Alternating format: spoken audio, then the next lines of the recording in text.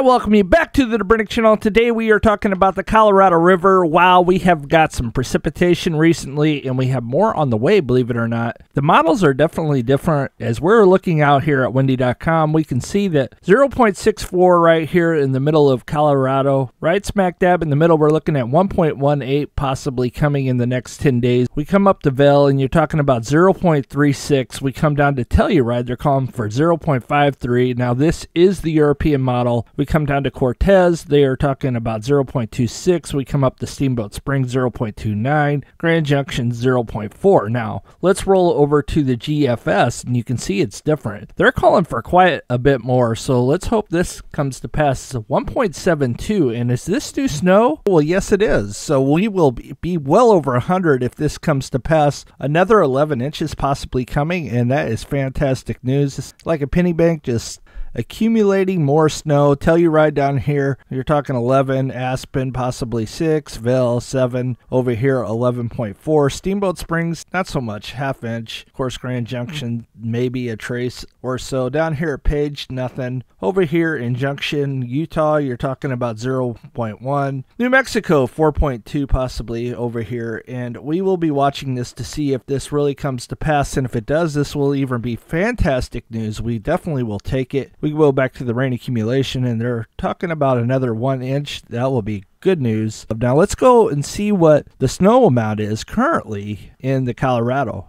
We are looking at the snow pack, and you can see that just here on May 4th, we were at 87%, and then we dropped way down. It really got warm. We were at 79%, and then 87% of median, and then it popped back up to 102 for a minute in median 91% and went back down to 104 median 91% and now we are currently at 96.6% and 110% of median so we are definitely moving in the right direction this is fantastic news because generally this time of year most of the time it's on a downhill slide with the exception of 2019 where it popped back up just like it did here and then it just sharply declined. And then we had a late bump in 2019 as well. So something we need to be watching. That happened on May 24th so who knows? Maybe it'll be a repeat. Hard to say. That's the closest one that looks. The rest of them just seem to go straight down once it gets going. So we'll be seeing what ultimately happens. This is where we're at. Now, I'm not sure if this is completely up to date as this was, they're saying May 11th, but however, there was a lot of rain slash snow yesterday over the last 72 hours in the Colorado. And I'm going to go look at that right now. We will go to the rain accumulation map right now. As we come in here, you can see that there was quite a bit of rain over here, like by Blue Mesa. They're talking about one inches of precipitation. We come down here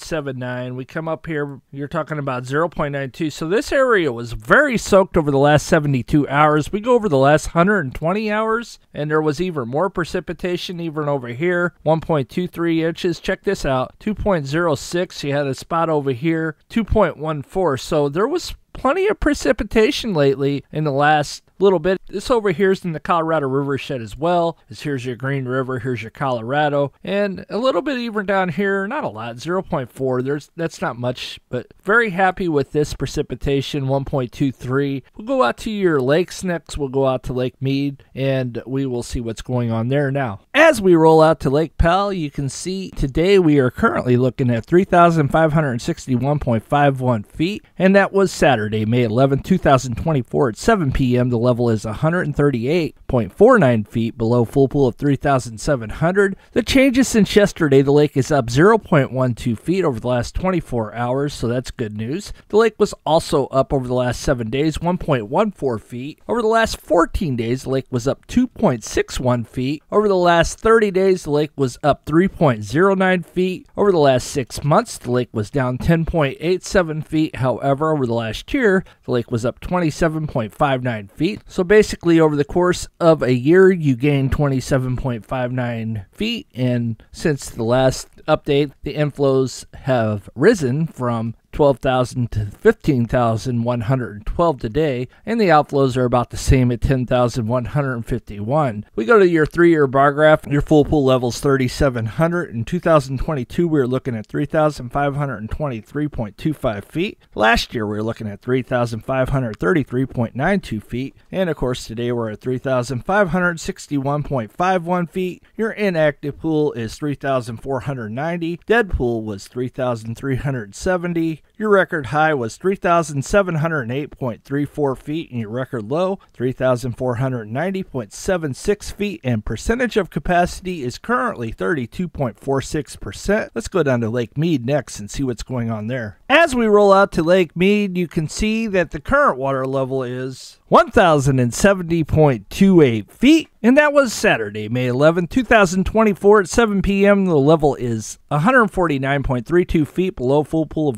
1,219.60 feet. Changes since yesterday, the lake is down 0.31 feet over the last 24 hours. Over the last 7 days, the lake is down 1.33 feet. Over the last 14 days, the lake is down 2.32 feet. Over the last 30 days, the lake is down 3.87 feet. Over the last six months, the lake is up 5.66 feet. Over the last year, the lake is up 19.55 feet. Inflows are 10,771. Outflows are 20,591 CFS, cubic feet per second. And we go to your three year graph here. Full pool is 1,219.60 feet. In 2022, the level was 1,051.93 feet.